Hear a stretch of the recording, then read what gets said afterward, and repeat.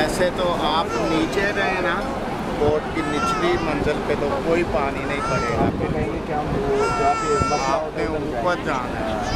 इसलिए तो मैं बात